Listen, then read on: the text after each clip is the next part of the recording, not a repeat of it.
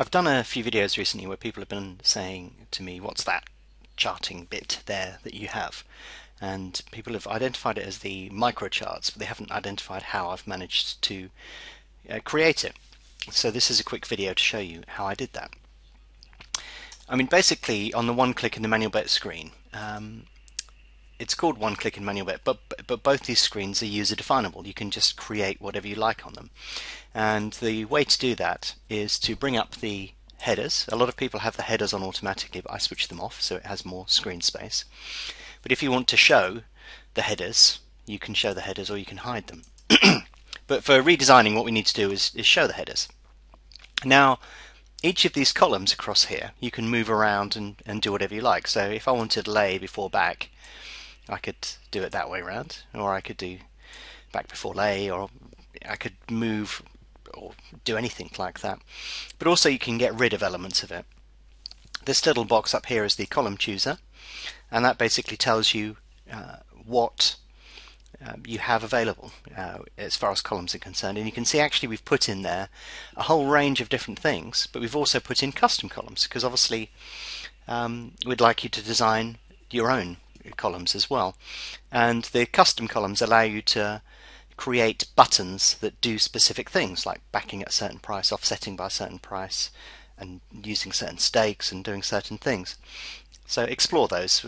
We'll use a separate video to explain all of that information. But basically these are all of the columns that you have available and you can either go in there and untick some of these options or you can actually uh, edit this main screen from here. But if you click custom columns, you can either untick from there, or what you do is just actually remove and drag and drop columns out of the way. So what I'm going to do here is drag and drop um, a whole range of columns here. But the one that I'm going to leave behind is the microchart. Now ideally we'd want to know which microchart applies to which selection. So if I drag P&L out of the way and move the name down, um, do we want silks on it? Well, let's leave silks in there for the moment. And what you can see is I'm actually left with just the silks, the name of the horse, and the microchart. So if I switch the header uh, back, I can actually undock this now, and we have a little box with loads of little microcharts um, in them. And if I pin that to the top now, I can actually go to the uh, one-click screen. Let's bring that back up again.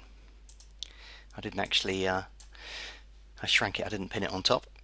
Um, or I can go onto the ladder. And what this will actually do is um, allow me to have a little window in or around, um, keeping uh, information on a specific market.